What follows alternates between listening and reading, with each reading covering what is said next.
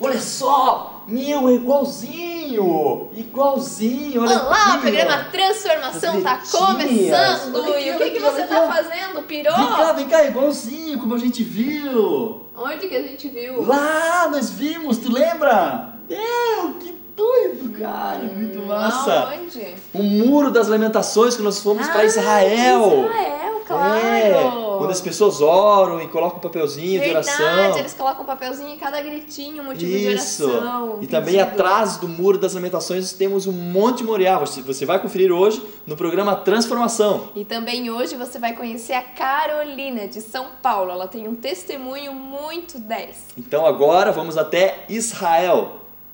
Este é o Monte Moriá.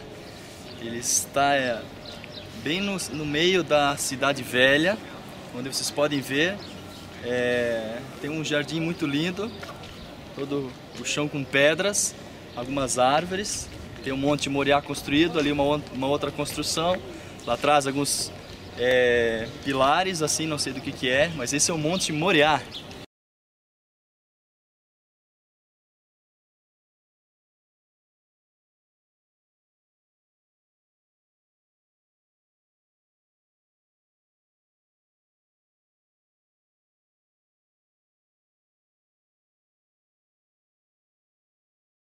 E esse é um big pé de azeitonas.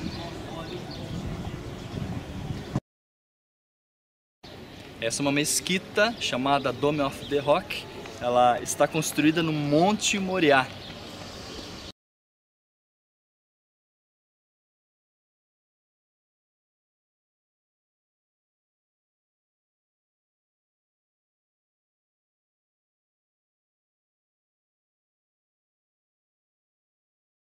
E essa aqui é uma muçulmana que eu encontrei aqui sobre o próximo do Monte Moriá, aqui dentro da cidade velha.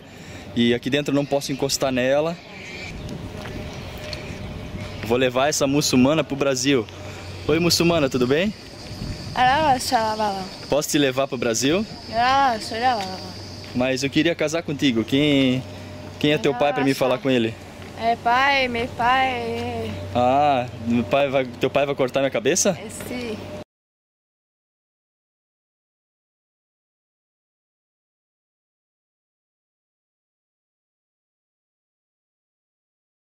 Eu estou exatamente no lugar onde é o Monte Moriá, o tão famoso Monte Moriá descrito na Bíblia.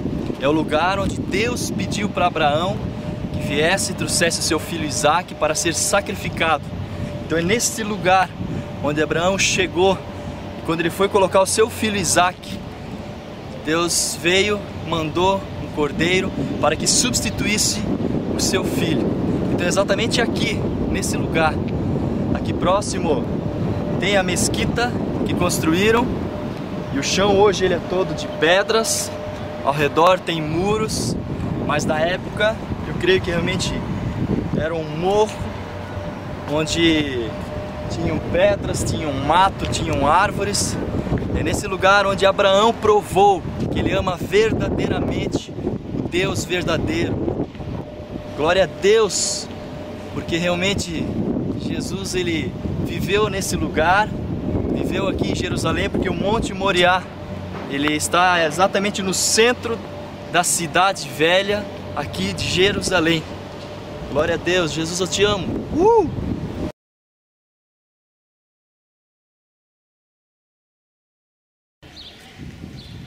Algum dia você já se perguntou, afinal de contas, o que, que tem atrás do muro das lamentações? Nós estamos atrás do muro das lamentações.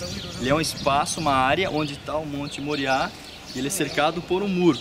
E isso aqui exatamente atrás do muro das lamentações.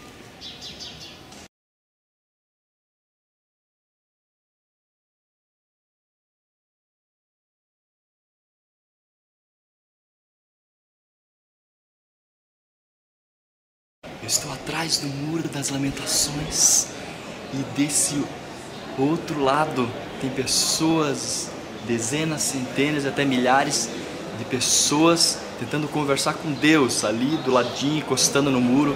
Eu vou escutar aquilo que eles estão falando.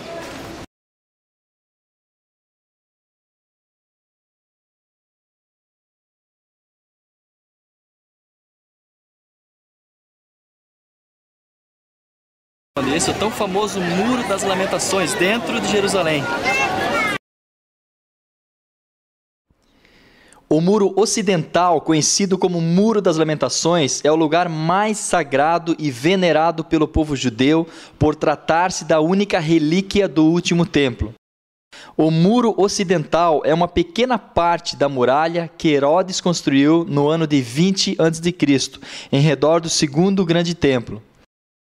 No ano 70, quando da destruição da cidade por Tito, este deixou de pé esta parte da muralha com seus enormes blocos de pedra, a fim de mostrar às gerações futuras a grandeza dos soldados romanos que foram capazes de destruir o resto da edificação. Durante o período romano, não era permitido aos judeus a entrada em Jerusalém. Entretanto, durante o período bizantino, lhes foi permitido entrar uma vez por ano, no aniversário da destruição, quando lamentavam a dispersão de seu povo e choravam sobre as muralhas do templo. Daí o nome Muro das Lamentações. O costume de orar junto ao muro continuou durante o decorrer dos séculos. Entre 1948 e 1967, o acesso ao muro foi novamente proibido aos judeus, já que ele se encontrava na parte jordaniana da cidade dividida. Depois da Guerra dos Seis Dias, o Muro das Lamentações converteu-se em um lugar de júbilo nacional e de culto religioso.